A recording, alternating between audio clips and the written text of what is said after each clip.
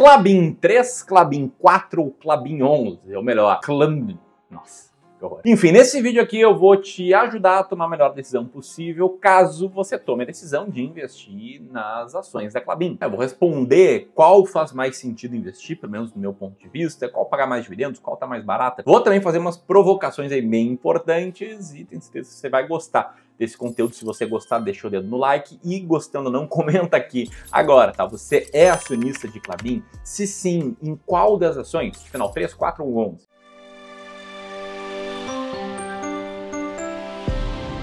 O primeiro ponto, né? Se alguém clicou nesse vídeo, se você clicou nesse vídeo, provavelmente você conhece a Clabin. Ela é uma empresa que vem ganhando muita popularidade, ela tá bombando no YouTube, todo mundo que faz vídeo sobre ela consegue ter muitos views, mas o fato é que ela já conta hoje com mais de 250 mil diferentes investidores. Enfim, eu não vou me alongar aqui muito na situação da empresa, porque o que te interessa aqui é saber qual das três opções comprar, ou se vale a pena comprar ou não. Mas num breve overview, o fato é que essa aqui é uma gigante nos setores de papel e celulose, ela é muito antiga, ela é de 1899, começou com uma pequena gráfica chamada MF Clabin e Irmão, e somente em 1902, né, depois de três anos de operação, ela pivotou e entrou ali no ramo de papel, depois de ter arrematado a empresa Fábrica de Papel Paulista. Essa é uma empresa que distribui dividendos com certa consistência. Né? Se olhar aqui o gráfico de distribuição de dividendos aí dos últimos 10 anos, pode ver que a barra azul, a barra de proventos, ela está sempre positiva. Embora ela não seja uma vaca leiteira,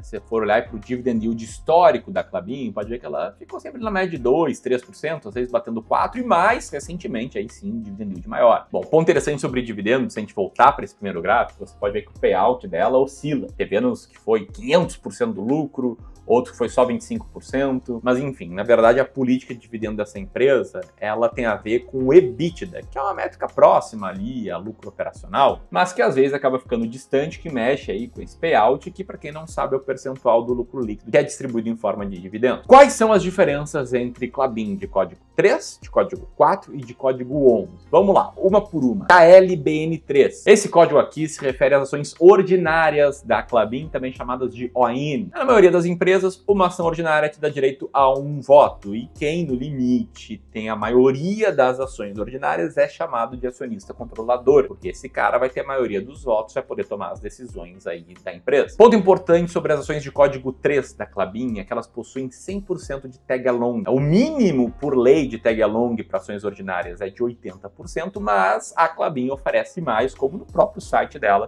ela deixa bem claro. Bom, os principais acionistas tá, da Clabin, nas ordinárias, estão nessa tela aqui e, é claro, o maior destaque é para a Clabin Irmãos SA, que tem 45% das ações ordinárias e detém aí o bloco de controle. Ainda assim, uma boa parte desse capital está em outros, né? pulverizado na bolsa, eventualmente até nas suas mãos, se você é acionista da Clabin de código 3. E outro ponto interessante é que, pelo status invest, o dividend yield atual da Clabin 3 é de 7,59%.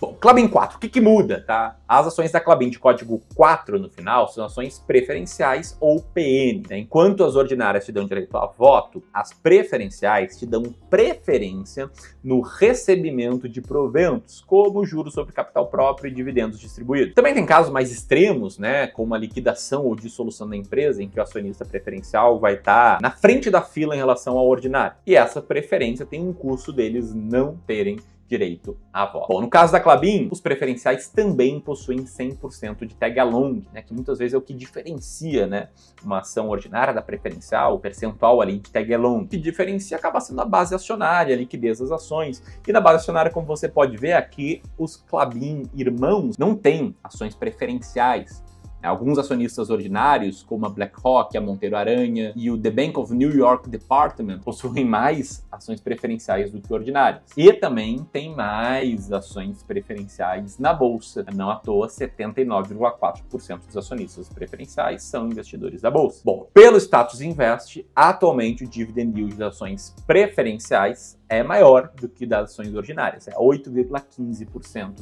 nos últimos 12 meses. Bom, se até que você está gostando, te inscreve no canal, clica no sininho para se tornar um clubista. Enquanto você vai fazendo isso, vamos lá comentar sobre ações de código 11, a KLBN11. O código 11, quando se refere a uma ação, indica que essa ação é uma unit. E o que é uma unit? É como se fosse uma cesta de ações em que você leva algumas ordinárias e outras preferenciais. Né? Cada empresa define qual vai ser a composição das suas units e a Clabin definiu o seguinte, tá? Cada unit é composta por uma ação ordinária e quatro preferenciais. Então, uma cesta aí em que cada unit representa cinco ações da empresa, uma ordinária e quatro preferenciais. Para trazer um pouco de contexto e comparação, várias units aqui da bolsa, como você pode ver nesse site da B3, são compostas por uma ordinária e duas preferenciais. Na verdade, a maioria é isso. Algumas, como a Clabinha, Copel, a Energisa, são quatro preferenciais e uma ordinária. E se a gente for olhar para o dividend yield das units da Clabin nos últimos 12 meses, ele está na faixa de 8,16%, ou seja, praticamente igual às ações preferenciais. Ok, ok, então como escolher a melhor? Poxa, Ramiro, se os proventos, o dividend yield é muito parecido, como é que eu vou decidir qual é a melhor? Antes de responder isso, eu te convido para dar um passo para trás. Quer se perguntar, vale realmente a pena para mim investir em Clabin? considerando a minha estratégia de investimento, ou seja, para mim, ela tá barata? Eu acho que todo investidor tem que se fazer essa pergunta antes de comprar uma ação, um fundo imobiliário ou qualquer ativo que vai entrar na sua carteira. E infelizmente eu vejo que poucos fazem, porque eu já tive aí, né? Já fui investidor pessoa física antes de me tornar gestor de investimentos, já cometi vários erros e um deles era investir caçando diquinhas, que eu caçava de fóruns da DVFN, quem lembra? Mas enfim, que era uma estratégia de investimentos que às vezes até dava certo por um semestre, um ano, mas em prazos mais longos sempre me fez perder dinheiro. E eu acredito que todo investidor precisa de algo muito maior do que uma diquinha para tomar suas decisões de investimento. Acredito que todo investidor precisa de uma estratégia clara. Eu tenho a minha, tá? Criada com base nos métodos de investimento em valor quantitativo, mas eu não vou falar muito sobre ela porque quem conhece mais o canal já viu o vídeo sobre. Quem está conhecendo agora pode assistir ao final desse. E mais, tá? Semanas atrás, meses atrás, a gente desenvolveu um e-book explicando a parte mais básica da nossa estratégia e revelando ainda 10 ações que passam dos critérios dela. Pode apertar aqui até e descobrir se vai pintar ou não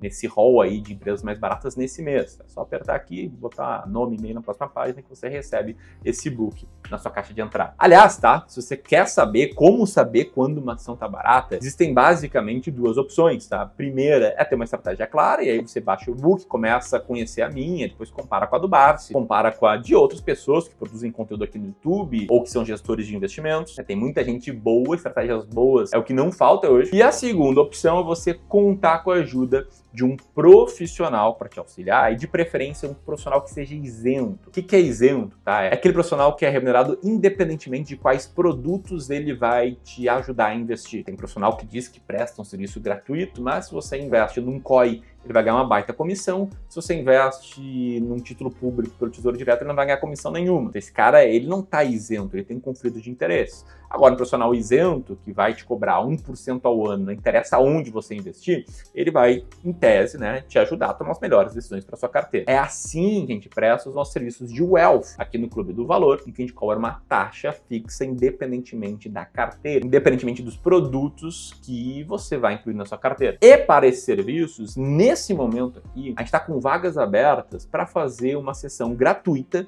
de análise e diagnóstico da sua carteira. Então a gente olha para a tua carteira, encontra os pontos fortes, os pontos fracos, faz uma sugestão de mudanças e ainda te dá a chance de você fazer essa mudança aí conosco. Tá? Então se você tem 300 mil reais, 500 mil, 1 milhão, 2 milhões, 10 milhões para investir, você está apto aí a fazer essa sessão de análise e diagnóstico de carteira, só apertar nesse botão aqui ou no segundo botão na descrição. Como escolher entre Clabin de código 3, 4 ou 11? Tá? Se você entender que, olha, na minha estratégia a Clabin tá barata, quero ter ações da Clabin, eu já tenho, quero saber se eu tenho as certas, como é que você faria, Ramiro, aí para decidir qual comprar? Aqui no Clube do Valor, a gente dá um peso maior para aquelas ações que têm maior liquidez que são mais negociadas. Por quê? Porque é mais fácil de comprar, é mais fácil de montar a posição nelas, é mais fácil também de desmontar, de vender elas no futuro. Quanto maior a liquidez, via de regra, né, todas as demais situações constantes, melhor. E em casos como o Clabin, que há tag along de 100%, a liquidez pesa ainda mais, né? porque tem gente que não gosta de comprar uma ação sem tag along, eu respeito, ainda assim dá um peso maior a liquidez, mas nesse caso aqui, todas as opções têm tag along de 100%, então vamos naquela que tem maior liquidez, que é algo fácil, né, e qualquer ferramenta gratuita te mostra. Então eu fui aqui e dei uma olhada aqui nas ações da Clabin de código 3, que ó, possuem uma média diária de 3 milhões, 3 milhões, 3 milhões e meio aí de liquidez média diária. Eu olhei também para ações de código 4, que possuem uma excelente liquidez, tá? quase 20 milhões de negociação média diária, mas o que eu achei mais adequado são as ações de código 11, com 119 milhões de liquidez média diária.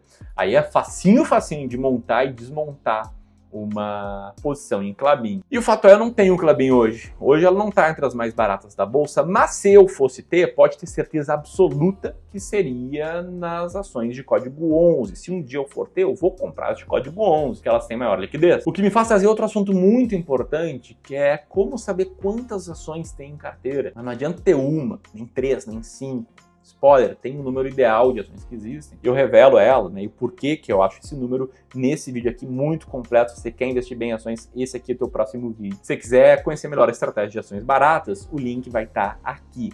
Aqui eu deixar outro vídeo recomendado e aqui, né, o botão de inscrição no clube. Um grande abraço e até a próxima!